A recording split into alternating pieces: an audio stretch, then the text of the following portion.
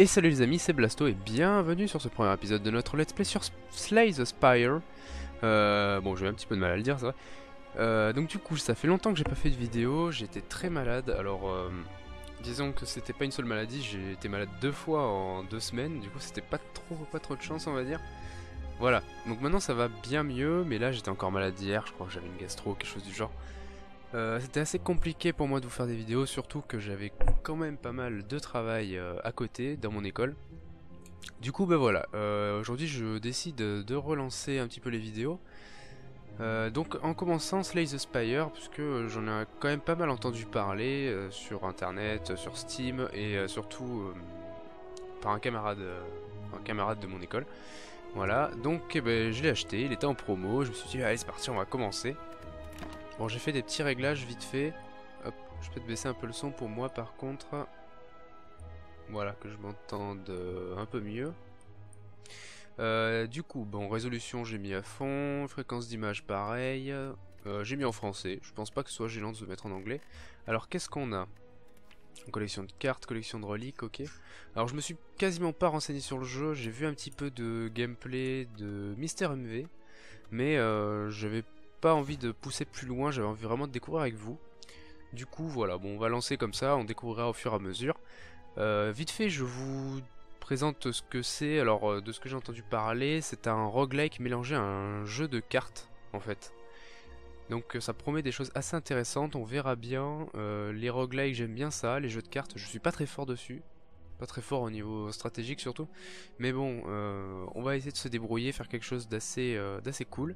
Et si ça vous plaît suffisamment, peut-être qu'on fera des lives là-dessus pour essayer de débloquer euh, les succès. Parce que c'est quand même mon objectif aussi, c'est d'avoir les 26 succès du jeu. Alors peut-être pas tout de suite, mais on essaiera de les faire au fur et à mesure. Alors le premier personnage, le soldat de fer, 80 PV, 99 d'or, le seul survivant des soldats de fer, il a vendu son âme pour maîtriser des énergies démoniaques. Capacité spéciale sans ardent, à la fin du combat récupérer 6 PV. Euh, il y a 6 choses à déverrouiller, je sais pas ce que c'est. 0 sur 300, ça doit être des points d'XP on va dire. Ok, bon on commence, allez. Et on est toujours en early access hein, aussi, je précise. Niveau 1, Exord. Ok, donc on a une carte comme ça.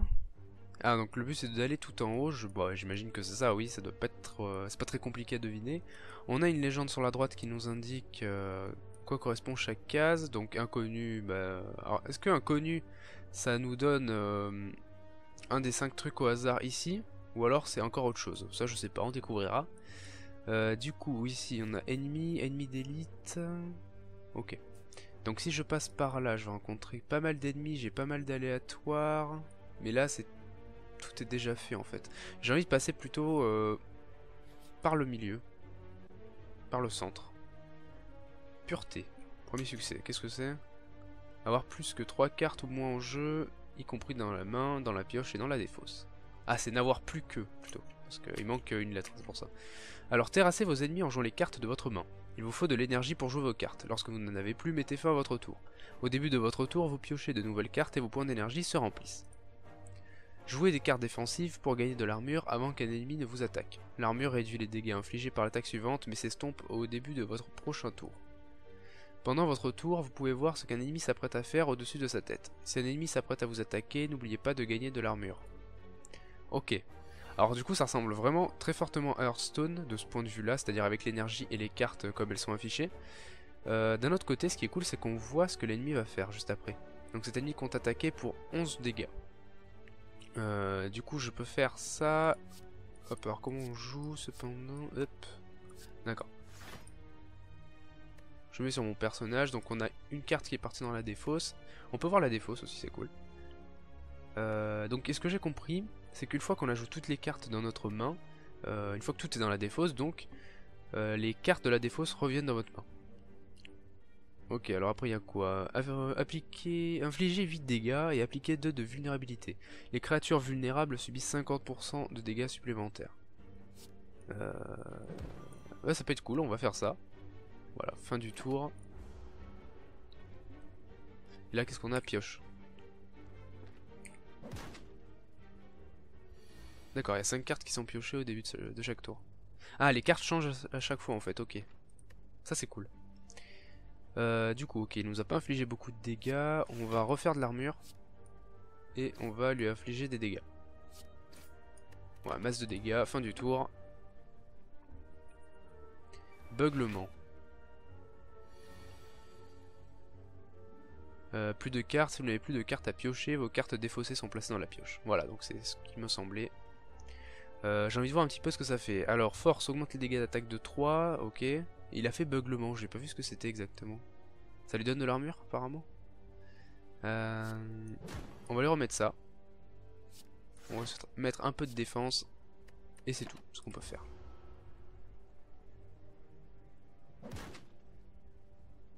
Là, il commence à faire plus de dégâts déjà.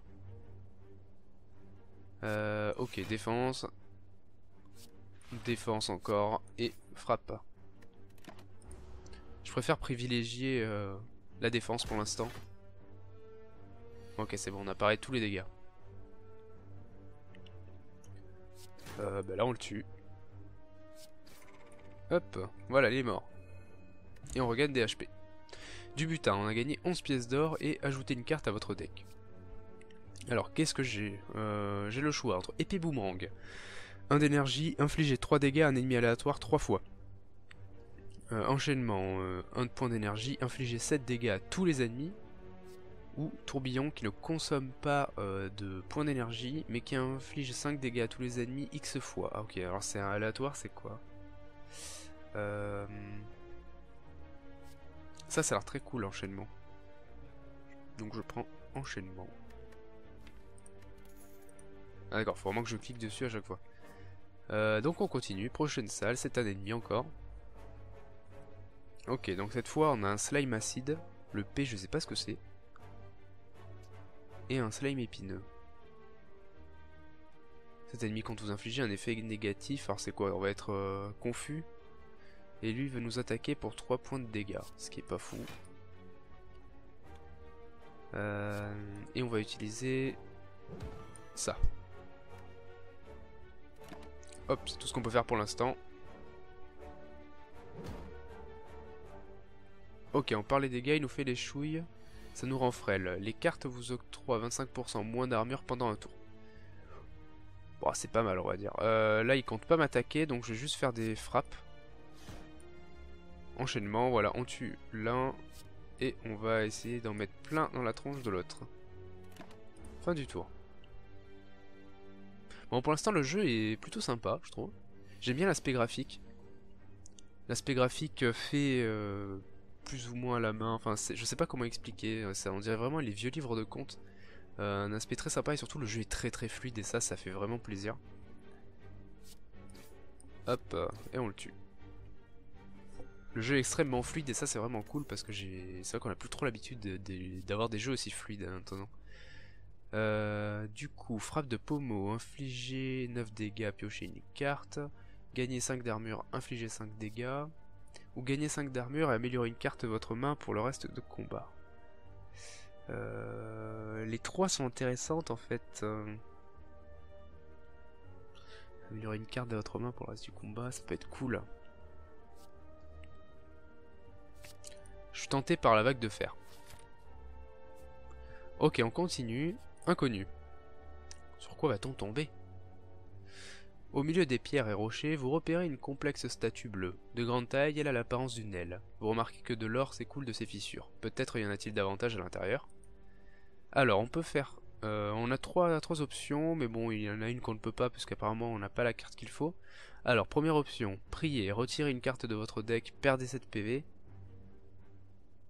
Euh, on retire une carte de notre deck, et en quoi c'est un effet positif? Bon, on va partir, écoutez. La statue vous met mal à l'aise, vous passez devant sans vous arrêter. Non, je trouve ça pas très intéressant. Perdre 7 PV là-dessus. Euh, Alors, on a le choix soit entre un marchand, euh, un inconnu et euh, un ennemi. On va aller au marchand. Welcome, stranger. Ah, avec la petite main et tout. Une grenouille en papier. D'accord, on a des petits items.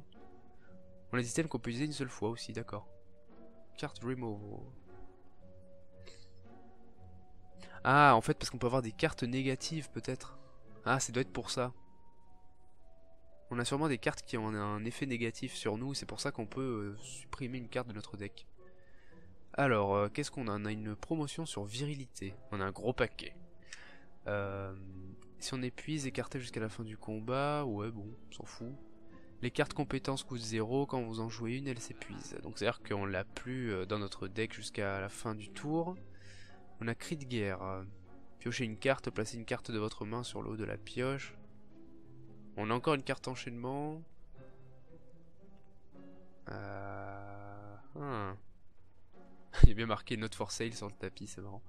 Aveuglement, appliqué 2 de faiblesse. Ça, ça va être cool. Mais elle coûte cher. Chaque fois que vous jouez 5 cartes en un tour, infligez 10 dégâts à tous les ennemis. Ah ouais, ça c'est cool aussi, mais ça coûte cher. Euh, bah écoutez, on va partir. Il a rien qui me fait spécialement envie en fait. Alors peut-être que j'ai complètement tort, mais là euh, actuellement je trouve qu'il n'y a rien de spécialement intéressant. Alors on va juste continuer. Recroque vivement. Après avoir encaissé des dégâts d'attaque, se roule en boule et gagne des points, 7 points d'armure. Ok, il y a une petite euh, faute dans la traduction là. Euh, donc qu'est-ce qu'il compte me faire? Cet ennemi compte se buffer, les deux vont se buffer. Donc je peux en profiter. Euh, infliger des dégâts. Et... Bon, on va faire ça, même si ça sert à rien. Voilà, ça je lui brise son armure un petit peu. J'aurais dû plutôt taper l'autre, mais bon. Non, c'est vrai, j'aurais dû taper l'autre, c'était idiot ce que j'ai fait là. Force, ils vont infliger plus de dégâts. Donc il y en a un qui compte m'attaquer pour 10 euh, points de dégâts. Ah ouais, là j'ai pas de défense en plus. Ah ça va, je peux le tuer d'un coup. Hop là. Et toi, je te mets très très mal aussi. Voilà, fin du tour. Pour l'instant, ça s'en sort bien. Hein. On perd quasiment pas d'énergie. Tant que je me concentre bien sur ce que je fais, ça devrait aller. Boum. Tu es mort. Et je suis full life. Donc on a gagné 16 pièces d'or, une potion explosive qui inflige 10 dégâts à tous les ennemis et on peut ajouter une carte. Buvez ou lancez des potions pendant le combat, vous gardez vos potions d'une salle à l'autre. Euh, oui mais on peut l'utiliser qu'une fois en fait. C'est bien ce qui me semblait. Donc même pas mal. Euh, gagner 8 d'armure, piocher une carte. Infliger 3 dégâts à un ennemi aléatoire 3 fois. Euh, appliquer 3 de faiblesse et de vulnérabilité sur tous les ennemis épuisement. Donc euh, les ennemis ont infligé moins de dégâts, ils en subissent plus, mais la carte peut être utilisée qu'une seule fois par combat. Hmm. L'onde de choc est cool quand même, mais bon, on peut l'utiliser qu'une seule fois. Bon, l'onde de choc. Alors, lieu de repos, qu'est-ce que ça fait? On peut soit se reposer, on récupère 30% de nos PV max, ben là on est full, donc ça sert à rien. Forgeron, vous améliorez une carte de votre deck. On améliore. Euh, qu'est-ce qu'on pourrait améliorer? Une frappe ou une défense? Hmm, hmm. Peut-être une frappe. Alors si on l'améliore, on inflige 9 de dégâts avec cette carte. Si on inflige une défense, si on améliore une défense, on gagne 8 points d'armure au lieu de 5. Euh, on va améliorer une frappe. Ça m'a l'air très très cool là. Très bien, on continue. Une carte inconnue, enfin un lieu inconnu, une salle inconnue. Devant vous se trouve un hôtel élaboré consacré à un esprit antique. Soit en prix on gagne 100 d'or, soit en profane on gagne plus d'or, cependant on gagne, euh, on reçoit une malédiction au regret. Injouable à la fin du tour, perdez 1 PV par carte en main. Waouh, ça c'est... non, ça c'est... Hop, ça fait beaucoup quand même. On va juste prier. On va se contenter de prier parce que les malédictions, ça va 2 minutes. Hein. Je sens déjà que ça pue. Surtout le regret là. Alors lui, il compte m'infliger un effet négatif. Séparation. Lorsque ses PV descendent en dessous de 50%, il se sépare en deux slimes plus petits avec les PV restants de slime épineux. Oui d'accord, en fait le G c'est pour dire s'il est grand ou petit. Ok. Euh, donc vu qu'il compte pas m'attaquer, on va faire une frappe. Euh, peut-être une vague de fer, allez, parce que de toute façon ça coûte rien. Et une autre frappe. Je me demande comment on fait pour gagner de l'énergie par contre. Alors là, il réduit mes points d'armure, très bien. On va tenter d'utiliser l'onde de choc et frappe plus. Fin du tour. Il a vraiment une tête, euh, il est marrant, slime. Alors là, il va bientôt se diviser par contre. Euh, l'enchaînement, on va peut-être le garder juste après. Ok, on gagne 3... Ah oui, il va m'infliger euh, masse de dégâts là par contre.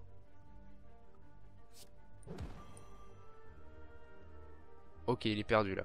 Inconnu, les intentions de cet ennemi sont inconnues, n'attaque pas. Ah, ça c'est cool, donc ça veut dire que là il va séparer. Je lui ai infligé suffisamment de dégâts. Euh, Qu'est-ce qu'on pourrait faire? Voilà, juste pour lui faire des petits dégâts. Ok, il se sépare. Donc il y en a un qui compte m'attaquer pour 8 dégâts. Ah, stratégique. Infliger un effet négatif et attaque en même temps. Très bien. Euh, en plus je suis encore frêle, ça va être compliqué. Euh, écoutez, défense.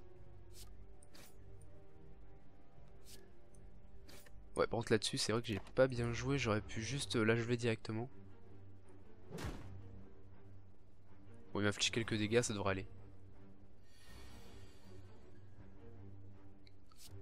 Ok, donc frappe.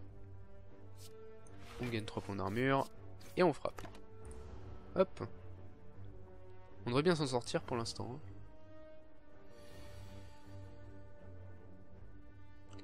Euh, bah inflige 9 points de dégâts. Allez, t'es mort. Salut Et on se soigne. On gagne 13 d'or et on ajoute une carte. Alors qu'est-ce qu'on a? Projection. Infliger un total de dégâts égal à votre armure actuelle. Ce qui n'est pas dégueu. Euh, rouge. Ouais, il y a tout ça qui est joué quoi. L'ennemi est utilisé, enfin l'énergie est utilisée pour jouer des cartes depuis votre main, donc on gagne deux cartes, enfin deux énergies. Carte de statut injouable. Ouah, c'est bizarre, attendez cette carte. Là ça appuie une carte et j'en pioche deux. Non, je vais faire voix rouge, ça a l'air cool.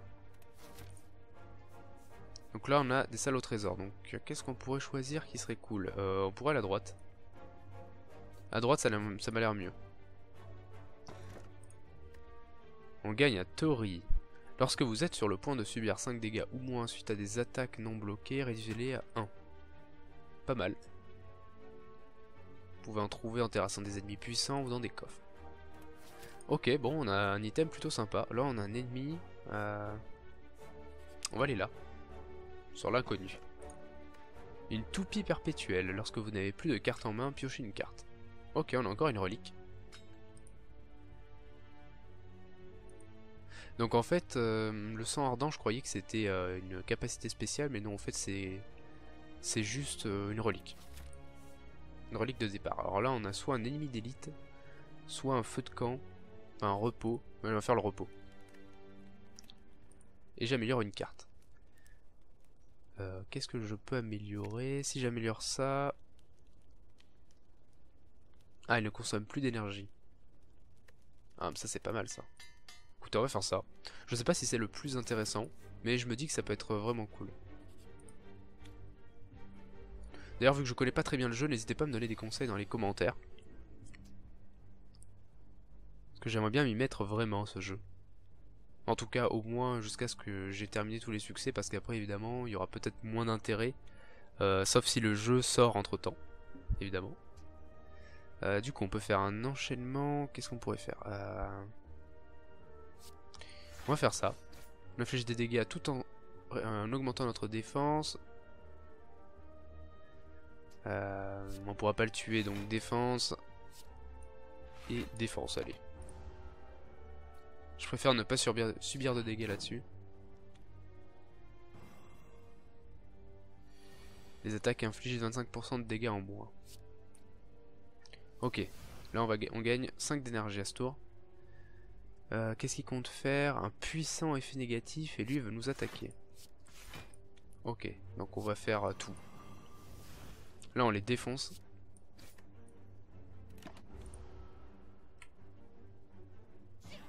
Enchevêtrement. Euh, vous ne pouvez pas jouer de carte attaque pendant un tour. Ah ouais, ça c'est gênant par contre. Mhm. Ah là là, je peux pas jouer d'attaque du coup. Ce que je peux faire, c'est ça. Oh, je vais me faire défoncer là-dessus. Oh, je vais prendre 9 de points de dégâts, ça va être horrible. Ah, même pas. Pourquoi j'ai... Ah, d'accord, c'est vrai. J'ai ma relique qui me protège. Euh, donc on a quoi? Vague de fer, infliger 5 k hop, hop, hop, hop, ça serait pas mal.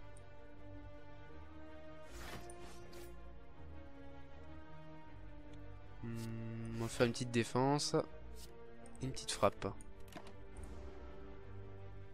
Au moins histoire de réduire les dégâts parce que là on n'est pas bien.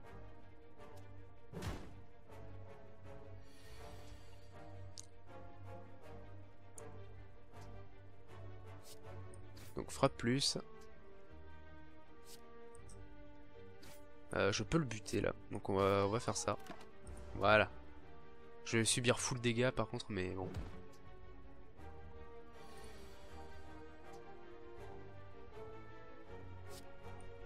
Ça comment ça s'utilise ça Je sais pas ce que c'est du tout.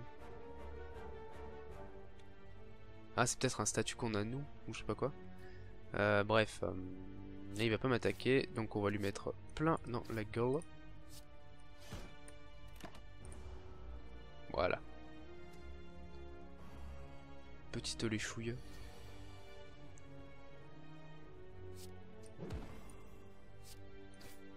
Hop, il est mort.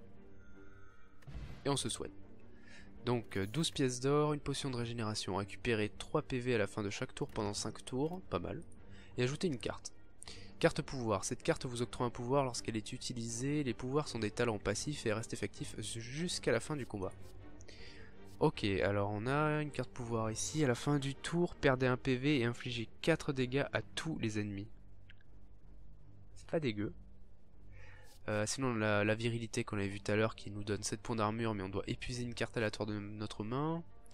Et coup de tête, infligez 9 dégâts, placez une carte de votre défaut sur le haut de la pioche.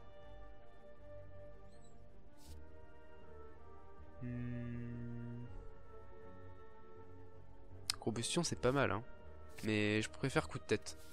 Je n'aime pas euh, devoir sacrifier des PV euh, pour l'attaque. Ok donc on va utiliser ça pour commencer.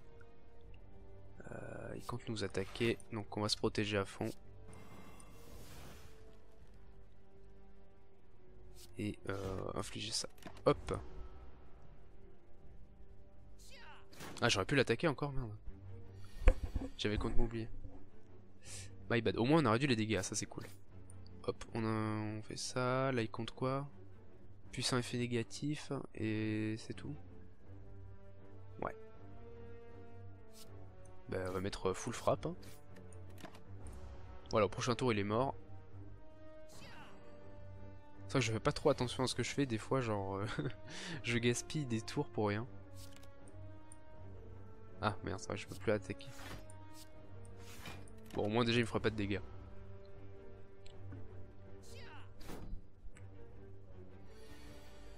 Alors les musiques sont basiques, je trouve, enfin, elles sont très... Sont, sont pas de particularité. Elles sont très normales pour euh, ce style de jeu. Euh, je dirais pas que les musiques sont excellentes, mais euh, elles font le taf. Disons que c'est exactement ce qui correspond au style de jeu. Donc ça va c'est cool. C'est une bonne musique d'ambiance, on va dire. Donc, bah, coup de tête, hein, je vais te défoncer. Hein. et voilà, tu retournes chez toi, donc 18 pièces d'or, et on ajoute une carte. Euh, ce que je me demande, c'est est-ce que les cartes, à la fin, on les garde dans notre deck, ou est-ce que c'est... Enfin, c'est... comment dire euh, C'est réinitialisé. Comme les cartes qu'on avait au début. Euh, du coup on a quoi? Voler de coups, infliger 2 dégâts 4 fois, épuisement, colère, infliger 4 dégâts, placer une copie de cette carte dans votre défausse. Ah mais d'accord, ça veut dire que plus on utilise colère et plus on a deux fois la carte. Ça contre c'est pété ça. Peut-être améliorer à l'infini. Oh ça, ça par contre je veux ça. Du coup on part, euh, bah, on part à droite, hein, de toute façon ça change pas grand chose au final. Ok, un mâchouilleur et un slime épineux euh, moyen du coup. Donc lui va m'attaquer. Euh, on va le heurter. Et on va se défendre. Hop. Ça fait bobo. Ah. Euh, donc, qu'est-ce qu'il compte faire là? Compte bloquer se buffer. Donc euh, quand il bloque, est-ce qu'il réduit tous mes dégâts à zéro? Ou juste ça réduit les dégâts en fait, ça je sais pas par contre. Donc dans le doute, on va essayer d'attaquer l'autre. Euh, ouais, par contre...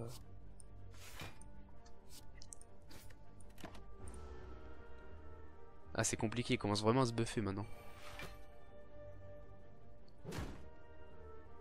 Donc quand il fait beuglement, ça augmente son armure et ses dégâts.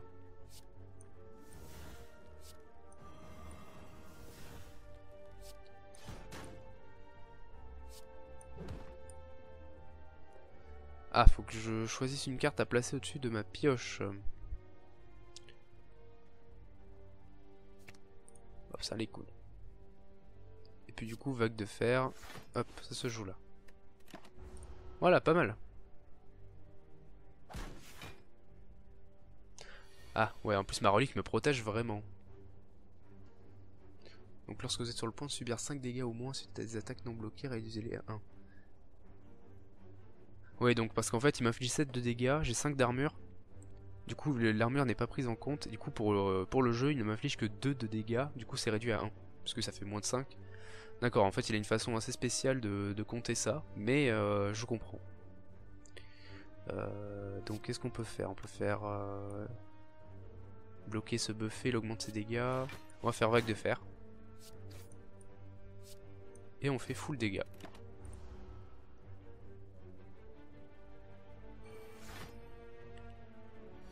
Parce qu'il ne le sait pas, mais il est déjà mort.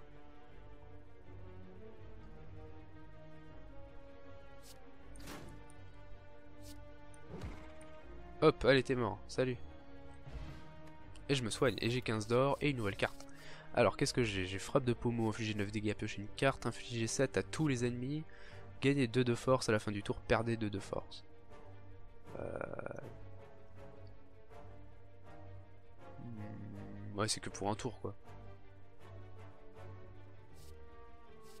Ah, ça c'est cool, ça, vantardise. Ça consomme pas d'énergie, euh, je trouve que c'est une carte sympa. Ok, qu'est-ce que je peux faire? Euh, Je peux restaurer tous mes PV, mais vu que je suis quand même assez élevé, on va forger plutôt. Ça, je peux l'améliorer encore. Ah, ça c'est pété ça. Si j'arrive à la sortir, mais je défonce tout le monde.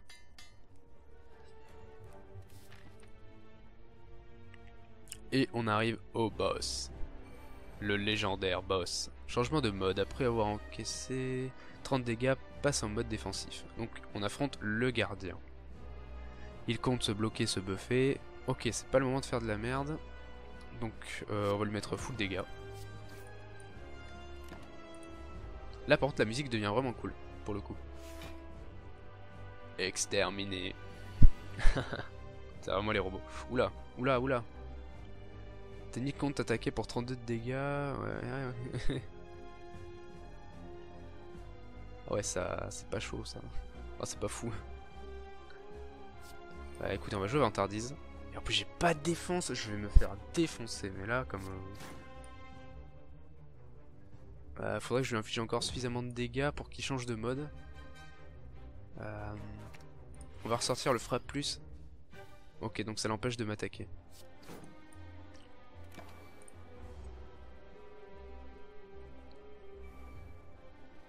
Peau dure. Lorsque vous jouez une carte attaque, vous subissez 3 dégâts. Ah, c'est moi? Attends, non. C'est quand lui il m'attaque qui a subi 3 dégâts ou c'est moi qui ai subi 3 dégâts seulement? Ouais, on va voir. Je, je comprends pas trop là. La traduction est pas folle sur ce coup.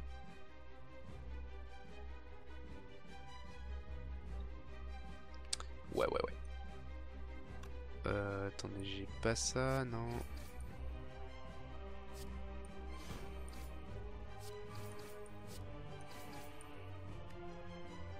Et non. Ah si, c'est bon. Ah non, du coup, coup brûlant est sorti, mais j'avais pas assez d'énergie. Ah Ah, du coup, là, j'ai perdu. Je suis vraiment beaucoup. Ça fait mal. Écoutez, on va boire ça. Euh, petite potion explosive. BM Faut les utiliser, hein, de toute façon. Là, on va se régénérer, ça va être cool. Euh, il compte m'attaquer pour 16.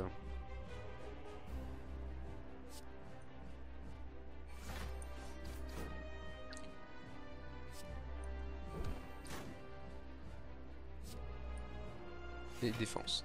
Hop, ça devrait aller. Un peu mieux, on va dire.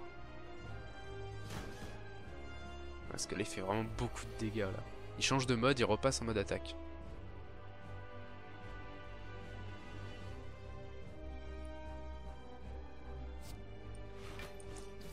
Faut que je trouve le moyen de lui infliger des dégâts tout en réduisant les miens.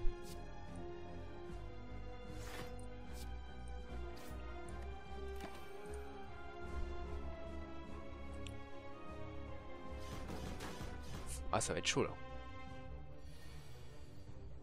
Combien il faut encore 26 dégâts pour qu'il passe en mode défensif. Euh, écoutez, on va lâcher une vantardive. Vantardise, pardon. Ouh, ça par contre, ça partir direct. Les bons dégâts. Et euh, là, il compte pas m'attaquer, donc on va lâcher une petite frappe. Ok, on a réussi à le faire changer de mode. Ah, je suis vraiment en 60 FPS constant, hein. ça par contre, ça fait plaisir. Donc là, il compte m'attaquer. Hmm, pour 9. Ok, on va faire deux défenses et une frappe plus.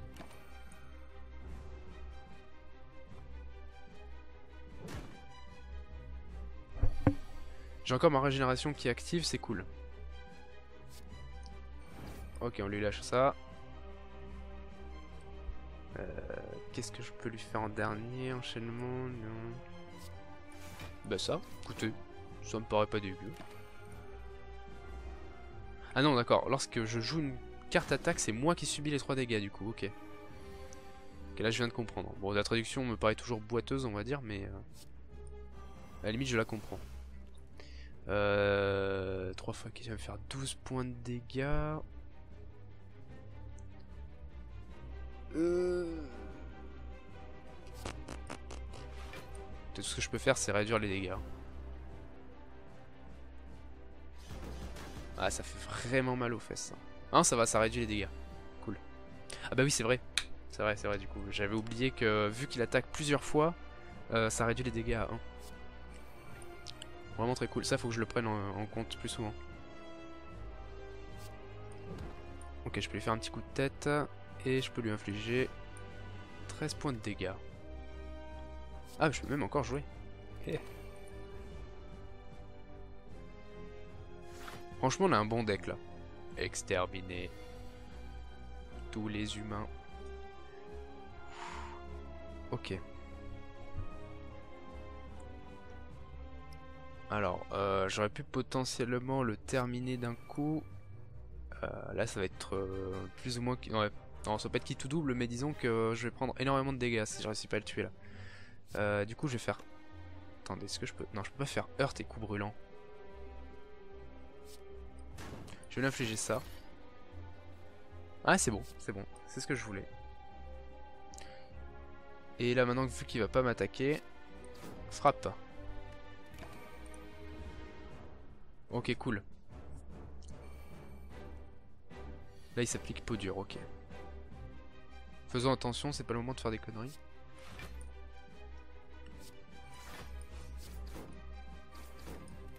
Et voilà, au prochain tour, il devrait mourir.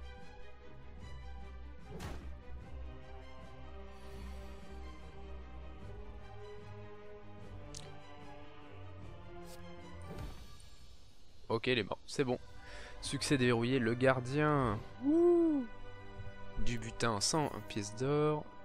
Potion de faiblesse, applique 3 de faiblesse. Et ajouter une carte. Euh, infliger 32 de dégâts, c'est énorme. Pendant ce tour, votre prochaine carte attaque sera jouée deux fois. Ça, c'est cool. Et au début de chaque tour, gagnez 2 de force. Ah, c'est cool aussi, hein. Hmm, attaque double me paraît mieux. Ok, euh, qu'est-ce que ça fait?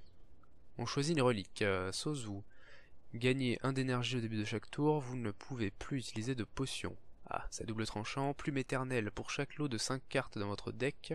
Récupérez 2 HP, enfin 2 PV lorsque vous accédez à un feu de camp. Carte d'interrogation, lorsque vous recevez une carte comme récompense, choisissez parmi 4 cartes au lieu de 3. Le Sozu me paraît cool. Ok, on peut continuer. Donc niveau 2 la ville, d'accord, en fait ça continue comme ça, moi je croyais que c'était vraiment euh, genre on rejouait à chaque fois et tout.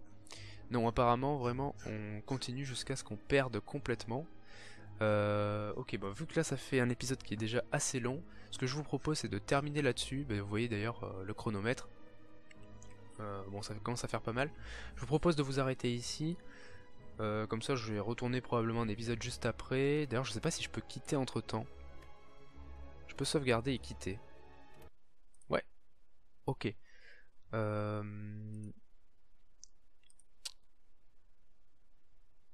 Hop là. Donc voilà, bon, vu que le jeu a pas l'air d'avoir aimé du tout, bon, il y a encore le sens, ça doit pas être trop grave, euh, excusez-moi pour la fin, bon, c'était vraiment dégueulasse. Euh, du coup, bon, le jeu est vraiment sympa, euh, j'ai hâte de découvrir ce qu'on va pouvoir faire de plus, si... y a vraiment, je pense qu'il y a encore vraiment beaucoup de choses à découvrir, ça va être très sympa. N'hésitez pas à me dire si vous avez bien aimé ce premier épisode, pour que je puisse continuer et voir sur quelle série je dois mettre je dois être, euh, je dois, donner la priorité, disons, par rapport à FTB. Si vous préférez ça à FTB ou à Subnautica, parce que Subnautica a des chances que je continue pas, vu que ça n'a pas l'air de spécialement vous intéresser. Euh, n'hésitez pas à me dire si euh, ce premier épisode de Slay the Spire vous a intéressé. Si c'est le cas, vous pouvez également me donner des conseils. Me dire si vous voulez le voir en live ou ce genre de choses, parce que les lives ça serait cool vraiment pour pouvoir découvrir avec vous en même temps. Moi ça me ferait très plaisir de le faire en live. Euh, voilà, donc euh, c'est tout ce que j'avais à vous dire. On se retrouve dans le second épisode. En attendant, n'hésitez pas à laisser un pouce bleu à la vidéo, ça aidera la chaîne à se développer. À vous abonner à la chaîne si ce n'est pas déjà fait pour pouvoir suivre mes prochaines vidéos. Et à partager sur les réseaux sociaux avec vos amis. Voilà, donc je vous dis à bientôt pour de nouvelles vidéos. Allez, bye bye